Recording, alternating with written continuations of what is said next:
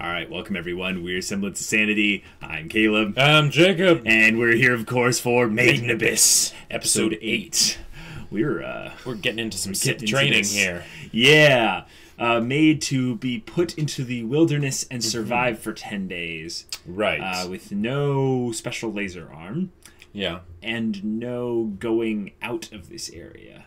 Right. So, So it's kind of like an escort mission, but you can't move much. Right. And the point that they are considerably making, I would say, kind of interestingly, is the idea that Riko needs to be protected by. Yeah. Um, Yeah. yeah, Which doesn't sound very uh, Sith training. Well, the thing that I I'm surprised by is the idea that they're not looking out for each other. Right. It's the idea that there's there's both aspects of them both needing to survive in this thing because they can't do this alone. Mm-hmm. But there was extra emphasis put on the uh, Right. fact that Reg wasn't able to basically stop uh, Ozen from you know really hurting him in the previous Right. episode. So he needs to be stronger. Yeah. Specifically to protect others, since he can't seem to be hurt himself. Right. Yeah. Yeah. So I really wonder if the reason why they gave that as the focus is because what it's actually going to end up being is inverted. Is that Riko's I going to see be that the one that happening. needs to protect Reg? Yeah. They they don't really they haven't set up a way for her to be able to like contribute in that sense so far. Her mom was a was a white whistle, but um, so far she doesn't have anything to defend herself with. Yeah, it's mostly the aspect that she is the driving force of the story, Right. With regards to them going down to the netherworld of the abyss. Yeah. Um, but it'll be interesting to see which which aspect of like her character gets brought out in particular as we move into the final uh, bits yeah. of this uh, this season. Right, because we are now getting into that second half. I'd say that final third in a way. Uh, yeah, that's right, because this is episode eight. yeah. All right. right. So without further ado, let's get into this episode and uh, see what happens. yep, that's true. That is a great point.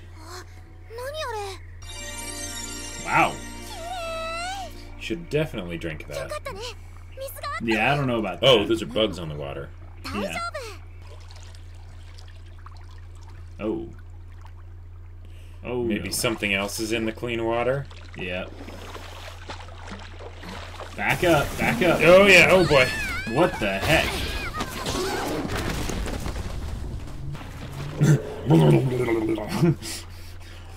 So maybe Reg should, uh, you know, scoop the water out with the, the helmet from far away, you know? Water and then shelter, yep. There you go. It's really interesting how I've heard a lot of people say it's it's water, food, then shelter. I'm like, nah, I would go water, then shelter. You can you, you can, can, be hungry. you can be hungry for a long time. Yeah. Oh, cool. Uh, hmm. リコちゃんは肝は据わってるけど.やりたいことに体がついていってないのあれで死んだらそこまでだったっていう話さ Only the strong survive. Yeah. レグは強いけど体が軽いからねあのカバを捕まえるには工夫しないと That's their なら food. ば Maybe he can 腕を tie it 伸ば up. して木に縛り付けて Yeah. しまうとかうんうんじゃあ誘導しようどうやって？Bait. じゃ It looks like ーんこれ Poe. 使おうなんだこれ臭いメスのうんちと木の皮 Uh, フェロモンがついてるとこ剥がしてきたのこれ Okay. でおびき寄せて Its waifu is literally shit. yep. どうだろうか大丈夫頑張ろう it's it's uh, perfect. And they're lighting it on fire. Mm, I'm in heat. Girl, where you at? Oh, that's cool. yeah. 今よレグ Oh, he's inside the tree. Oh. Counterweight. あんたの言う通りあの子ら得意なことはすこぶる伸びがいいの背中を預けるね Mm. Not they're something talking you about what hope we to? discussed. オーゼ Yeah, her uh, her previous apprentice. 誰にやられた待ってろ連中を根絶やしにしてやる Huh? どうしたオーゼンもう降参かすごいぞオーゼン一面不屈の花だ奈落のただ中とは思えないなうちの隊のトーカだこいつと結婚したぞ Oh. Did she love her? Possibly. Possibly, yeah. すまないオーゼン Whoa. あの間抜け面とお前が来てただでさえ丸くなったライザに今度はこの仕打ちかいこいつはここに置いてライザと金を抱えて登るか Oh, crap. That's when she's like, oh, wait, what's going on? 厄介事を引き受けたもんだ安心しなよ私は義理がたいのさ Wow.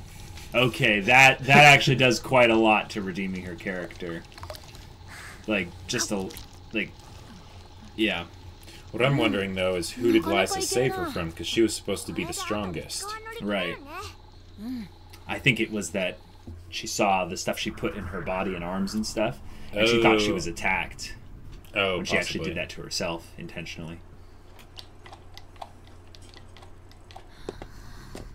Is the ten days up already? I guess so. お疲れ様ですお二人ともすごいですねオーゼンにやられた痛みも気づけばもうないなリコ闇鍋が効いたのかな Hodgepodge stew. よし Oh, you've 修復 leveled 完 up. 了だなんだろうなこれ それにしても I feel like it's supposed to go over his eye, but he doesn't put it over his eye. Yeah. It's like a it's like a reticle to look through. Mm-hmm. どうだったかね10日間過ごしてみて結構忙しかったよねそうだな過ぎてみればあっという間だったような待ち人を殺したくなければ真相にはとどまるななんて古い言い伝えがあってねどういう意味なんだい？hmm 時間の感覚が狂っちまうんだ五層の深部で特に顕著なんだがね Oh. 数週間過ごしたつもりが地上に戻ってきたら数ヶ月も経っていた Whoa. なんて Okay. ことがよくあるんだ Maybe that is something It's to do with why she's so old. That Like what too, but also there's the light. Yeah. 噂なもんかい私が言ってるんだよ まあ真相で生活しようなんて物好きは私ら白笛ぐらいなもんだがねさっきの言い伝えはあまりに長くとどま that 待ち人が Uh-huh. 死んじ Yeah. まうんじゃないかって大げさに言ったものなのさライザは我々が思ってるほど時を過ごしてはいないんじゃないのかね Oh. Yeah. 地上では10年. Right. だが奈落の底では数年しか経ってないとすれば彼女が無事である可能性はよっぽど高い気がしないかい？Interesting. Right, because it could actually affect, like, have there be different times. まあ、それでもなるべく五層にはとどまらないことだ。Okay. 他の白笛と鉢合わせないようにするためさ。Oh, yeah. 深海五層、泣き殻の海は、人が生きて戻れる限 So 界の that's where the white whistles hang out at. Right. Oh. 何人かはそこに I was wondering why she was so hunched Uh-huh. over. 先導教選ばれし悪な神秘教神秘のスラージュ All right. 霊 Eh, 能 There we go. There we go. ボンドル Bondrud the novel. 今潜ってるのは Of こ the の dawn. 3人だ連中特にボンドルドは筋金入り Yeah. の Okay. Cool.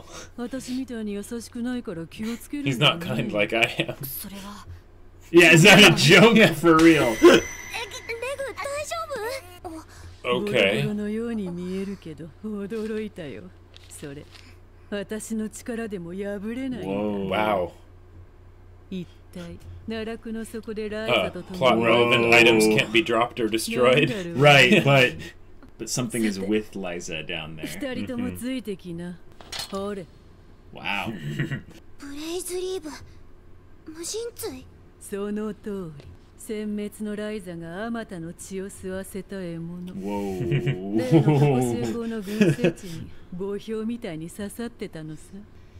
She said that Lyza went crazy. Oh. ちまってる everlasting 使い gunpowder. 立 It's て a 正 gun 解さ too. ね It is also a gun. yes. 昔からたまに不発なポンコツだ使い方を教えてやるよ Hey, this is the way that 仮 she'll be 想 able 法 to の代 fight. わりくらいにはなるだろうこれから話すことは口外無用だ Okay. Who else would they それって王女が tell? 語ったのは歴代白笛のラストダイブから漏れ伝えられ Oh. 彼らの間だけで口伝されているという 秘密の数々 Ah, the stuff that they Oh. don't want the お populace そ to らく know. 人が持ち得る最も深いアビスの声だった白笛の音色はある種の異物を起動する鍵であること Okay. 何人かの白笛が見たという深海七層の不思議な輪のこと Seventh layer? But no one 子 comes 供 back 騙し from は the 嫌い sixth といった layer. 大勢の言葉は本当でこの怪物は最初から最後まで出し惜しみをしなかった、Okay. マレルクちゃん Aw. じゃあ元気でね Oh, it's sad to see them go.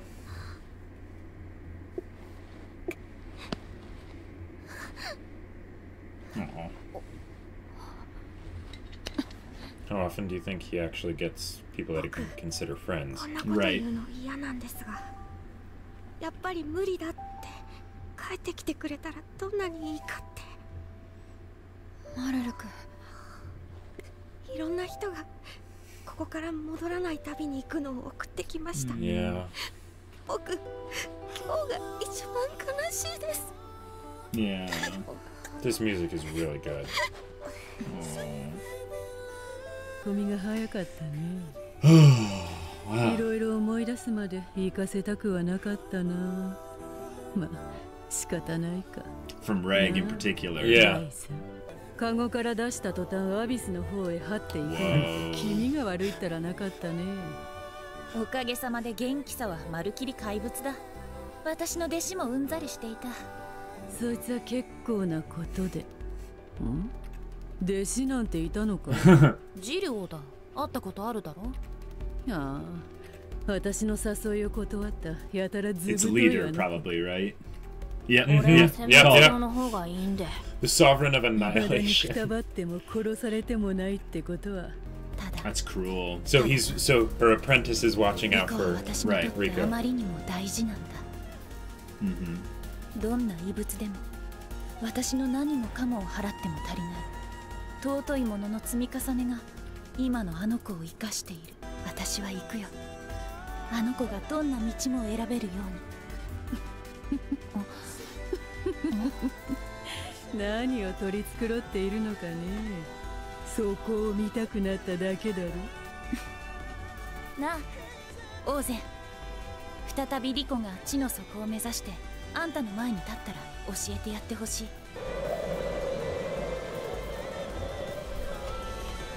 どれだけの奇跡が君を動かしてきたのかってこととその先で待つ素晴らしい冒険への挑み方。Uh, yeah. Okay. 面倒だね自分でやりな Good answer. お前さんとこに送り出すぐらいならやってやるさどうしがたいね Interesting. She's using the very words that Reg used to describe. her. Right. So do they just jump and let the updrafts kind of もちろんだ let them slowly descend, basically? I guess so. Wow. Okay.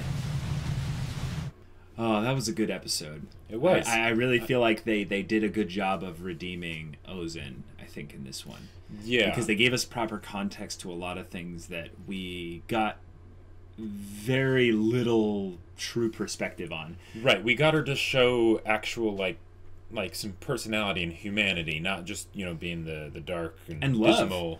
Like, yeah, yeah. I, I feel like Yeah. she loved Lyza. The idea that Mhm. um, you know this this forgettable guy that shows up and dies Right. very quickly, probably from that cave raid, uh, the Mhm. the foreign cave raiders that they encountered, and then she went on some crazy killing spree and killed a bunch Whatever of it them, was that happened, and earned her title, Lyza the Annihilator, or what have you.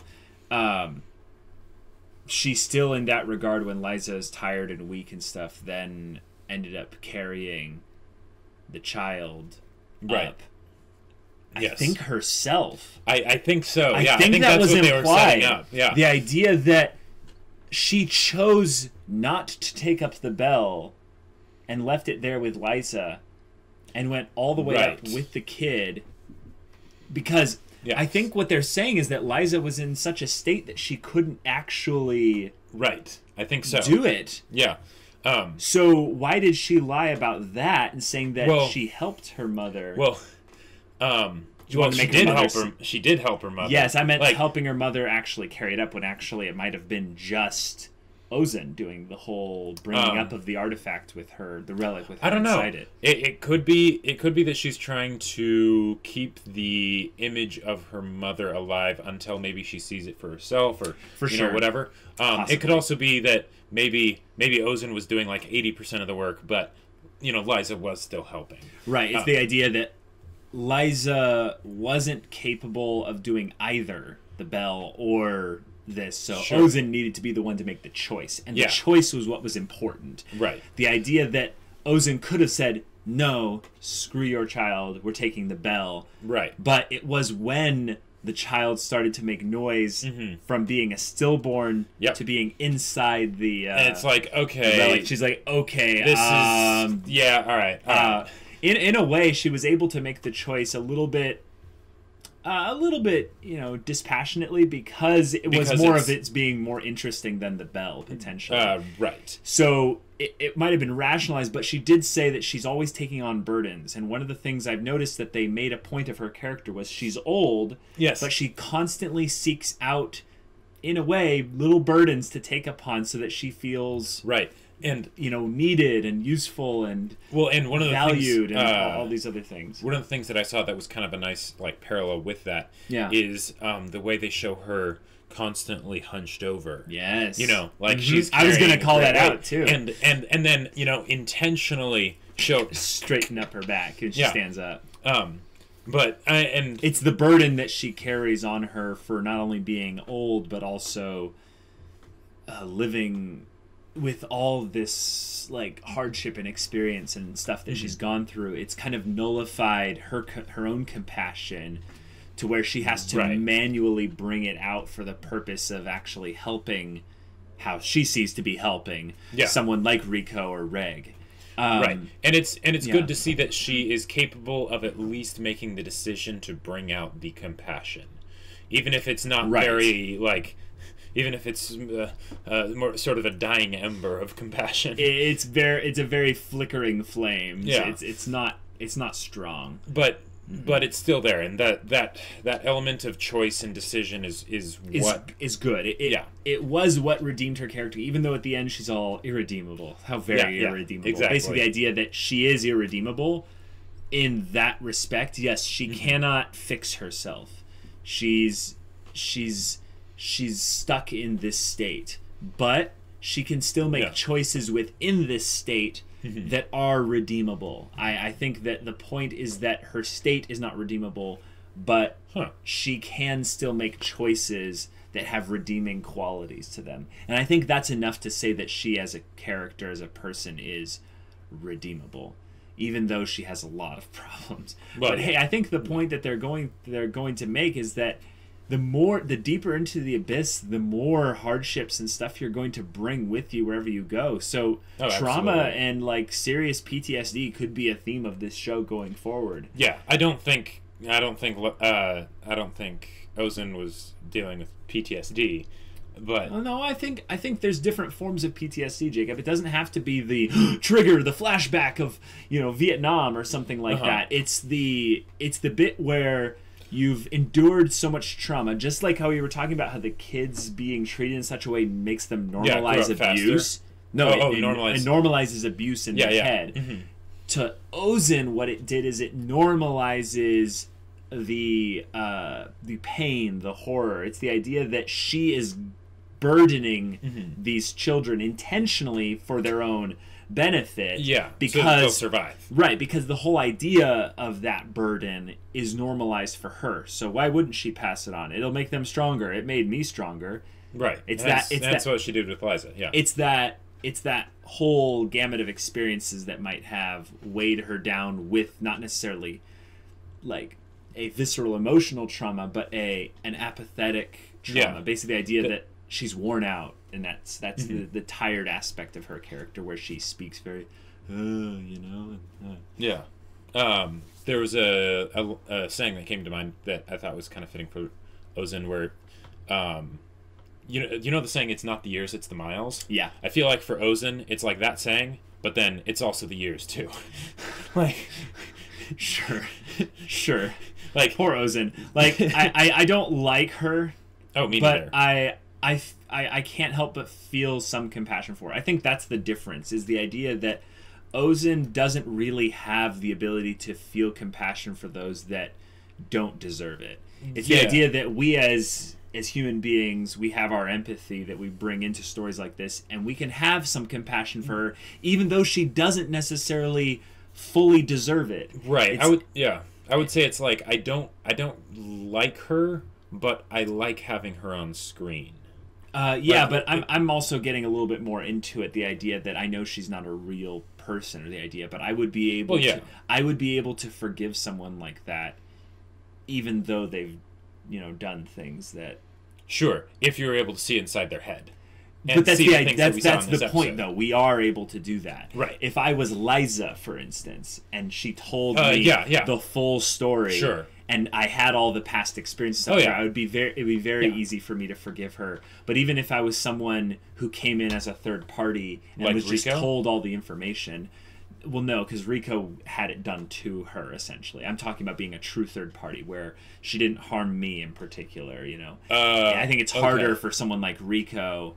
And that's why I think the the Hmm. point is they're trying to show that Riko's character has that compassion. Gotcha. Because she I- bears no ill will towards Ozen as she's leaving the second layer. Right. But but part of the reason why I think being a third party would be important is because uh, Riko has the normalized abuse brainwashing done to her. Well, that too. I would say though that a lot of times it's easier to forgive someone for something they did to you than to forgive someone for something they did to someone else. Right, and that's why I think it's important if I was this theoretical third party, Mm-hmm. I could still forgive her. Okay. because I would I would have the full context of who she is and her experience and stuff like that, and I would just have to trust that wherever I got my information from was accurate. Anyway, um, they survived the ten days. They did. Uh, we we didn't doubt them at all. Yeah. but Took uh, about ten minutes. yeah, yeah, but but I liked that they went through that very quickly. And, They and that they addressed the idea of time not being the Yes. same in all places Yes. of the abyss. One of the things that I, I don't know if they're going to get into this at all, but I've been constantly theorizing about the magnetic field thing. And this is my thing of where I think the sci fi aspect will meld with the fantasy aspect. Is the idea that once you get into magnetism, and magnet magnetism being the thing that's screwing over kind of the setting, it's kind of a catch all uh, thing in sci-fi's to be the thing that's screwing with reality, time, Reverse the polarity, all, all yeah. that kind of stuff. But it would explain the curse of the abyss. Uh, I I think it would loosely. okay. I would think it would loosely explain it. It it explains the time aspect potentially. I don't. I don't think magnetism affects time. Uh, I mean, yes, it does. Gravity does. Gravity, yeah. But you know the, the the correlation between magnetism and gravity, like it's not a. it's not a direct one. yeah, but well, whatever. Anyway. we'll we'll leave that to the the physicists and stuff. Yeah. Anyway, Uh, that's that's one of my theories. Is that still? I think this is bringing up, and I just want to keep reemphasizing it until it Mm-hmm. potentially happens. Is that there is some kind of magnetic field emanating from the bottom of the abyss, and the deeper levels uh, just are proof. The, the the effects of the deeper levels are proof of that field existing. Sure. Yeah. There's definitely there's definitely some kind of you know force emanating from the abyss. Um, like that that much I would say is, is very clear. I, I don't I don't think it's going to end up being magnetic, but but yeah, as a if you if it had to be something and they had to explain it an electromagnetic field makes plenty of sense if hmm. they had it be just some just just nameless just force Right. some energy or what have you that would be them basically saying we're not going to explain it right. Well, yeah. And, and me, I'm just taking a guess on the explanation. We both know there has to be some kind of field or energy or force Yeah. or something that's emanating from Right. it. It's just the question of what. So this is my guess. Okay. Um, but them surviving, they also uh, have basically proven themselves to be kind of ready all the way down to what was it, the fifth level? That was the point at which things get a little bit wonky with time. There's the Uh, Sea of Corpses at the sixth level, I think. No, the Sea of Corpses is the fifth level. To go beyond that, that's where no one comes back from. But Right. apparently, some white whistles have been to the seventh level because Well, that's the thing. Word of mouth. Here's of here's mouth, here's yeah. the crazy thought: is the idea that there have been white whistles that have gone below the sixth level because the sixth level is where the abandoned city was. uh huh. um, it, that's the probably the lost civilization, thing. Right. But at the seventh level, they can send up letters or just yell out, "I see a thing." Yeah, What is well- the thing? well- It's the thing that looks Yeah. like this. here's here's one of the crazy theories that I have. I love that they're doing the time distortion thing because that that basically makes the white whistles able to seem more epic because one, in a sense, they're kind of outside of time because they'll go down in these deeper levels, and that way you can have multiple white whistles around at a given point in time, while it's still being a very rare occurrence for someone to actually get good enough to the point where they can become a white whistle because they might Oh. not because the white Sure. whistles might live for a very long time, right? Because they spend so much time in the lower levels. So even though well, okay, but it's relative, Jacob. yeah, no, it's Time relative. relative, no, so yeah, the- so they're not actually older, but the thing is, with regards to the city up top, right? So what you're saying is, so what you're saying is, Mm-hmm. there could be white whistles down there from a gamut of a hundred years, even though they've only felt the effects of like twenty years. Exactly. Yeah, I, I, I get that. So that's right. But once they start making their way down there, Mm-hmm. the time starts to transition to white whistle kind of this this kind Oh of yeah, yeah. So they'll still thing. be aging at the normal rate down there, but down there is moving slower than it is up top. Or was it that it was moving faster? uh, down is moving slower. Right, down is moving slower. Yeah. So then then up above it's moving faster, which is why you could have a lot of different white whistles have them still feel like epic and awesome even Right. if they even if it's not Yeah. like oh who's going to be the new generation of white whistles like mm-hmm. every 20 years. And that's gravity. That that I think is actually the Sure. gravity side. But the connection, Jacob, between electromagnetism and gravity is is like Well, I, I well, had to think about it for a second, but there is some connection there. And also, if you think about it from the sense of them being inside some uh, planet's crust, Mm-hmm.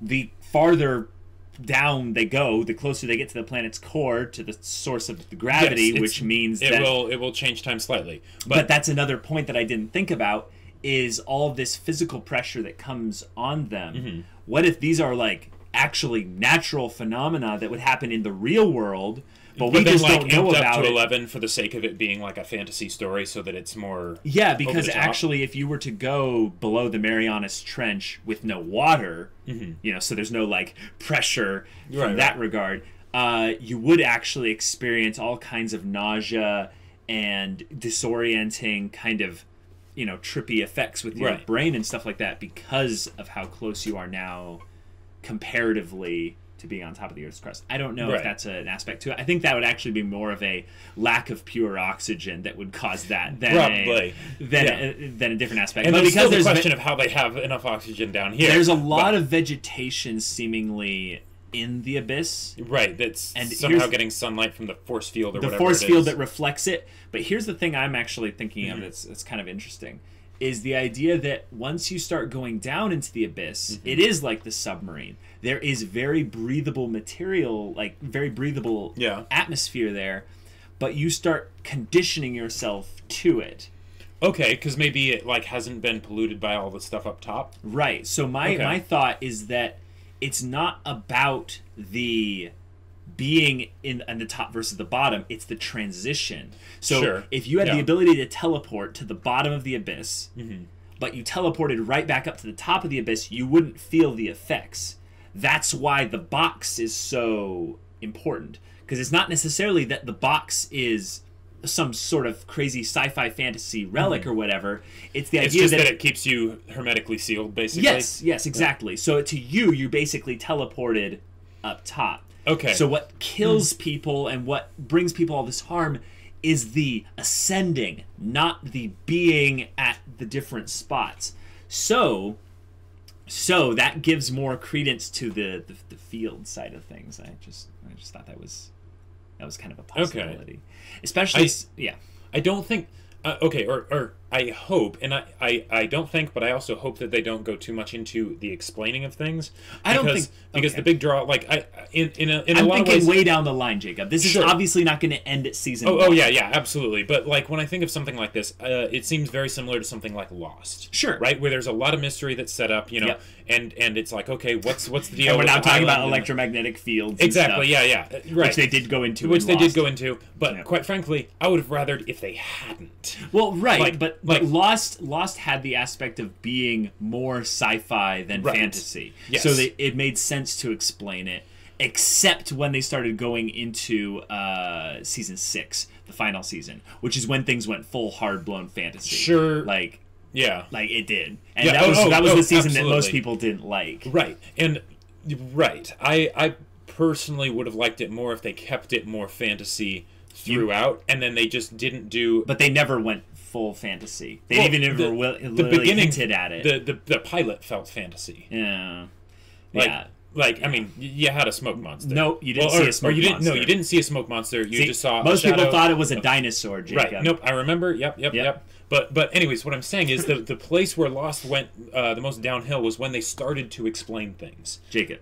Right. I mean, Jacob, we, we have very different opinions Okay, on Lost. okay, sure. So we're never going to agree on this regard. fine, and Yeah. I will I will agree to disagree. Absolutely. Yeah, But I I'm- hope they don't go into too much of explaining because the biggest draw for me is not the actual world itself, but the sense of possibility about the world. Right, and this is one of the problems I have with watching shows like this with sometimes people like you is Mm-hmm. Yeah. the idea that you're not actually interested in the world. I, mean, get I am, so invested into the world because they choose to give the uh, the possibility and mystery aspect of it a lot of leeway. Like they they are actually investing tons of creative energy into making the mystery aspect not only there but compelling and this Yes. slow burn this process that unveils over time to where they will explain things jacob whether you like it or not it's the question of how much and which parts are they going to explain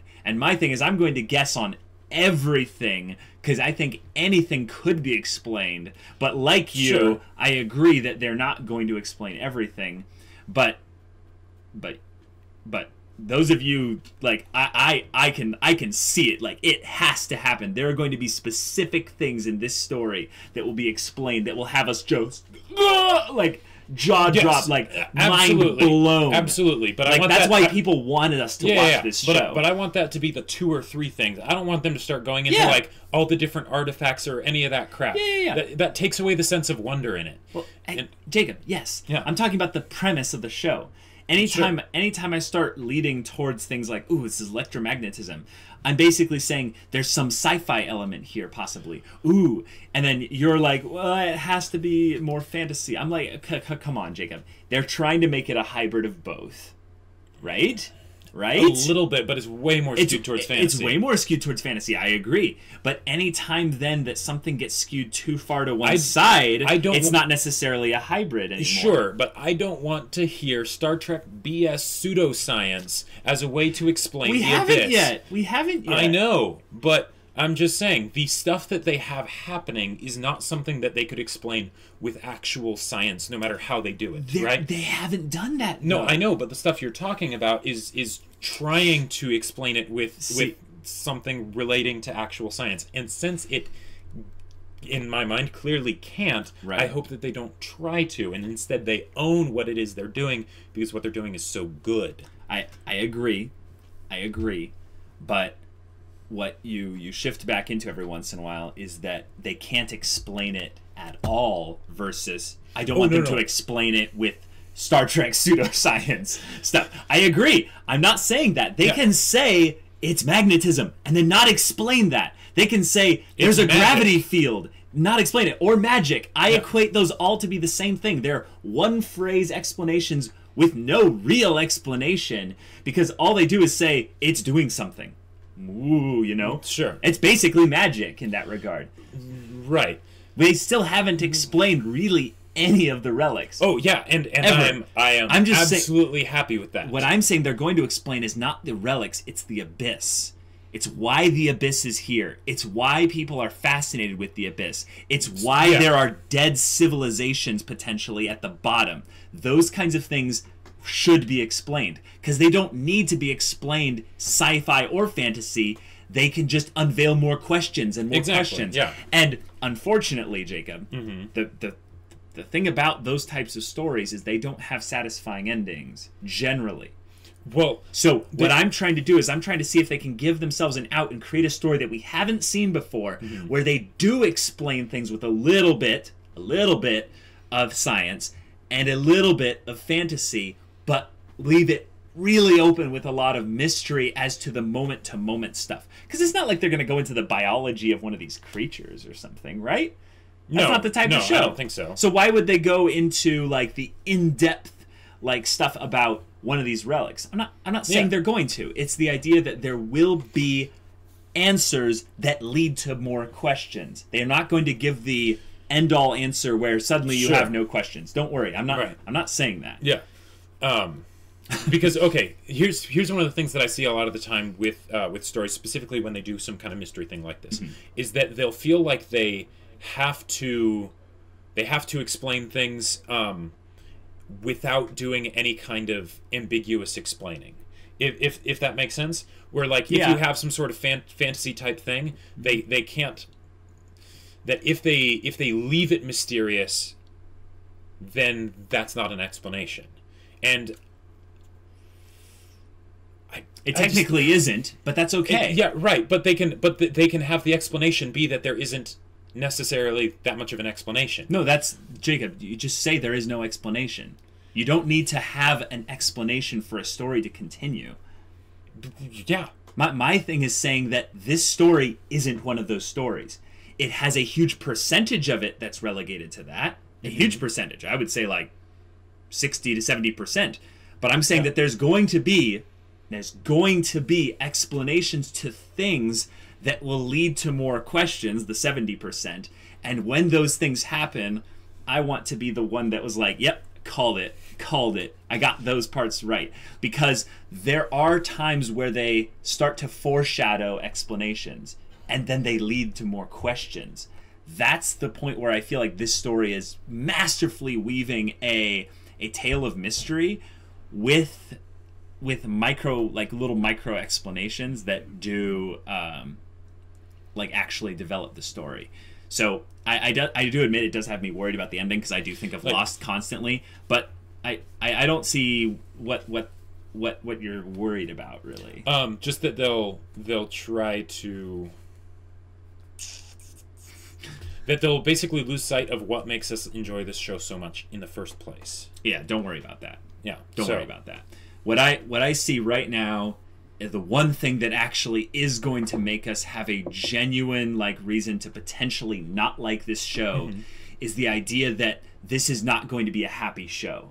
I can tell that this show Right, has yeah. a very absolutely. dark underlying bit. Oh, for sure. And I am Yeah. worried slightly that it's going to get too slightly dark. that it might get too dark.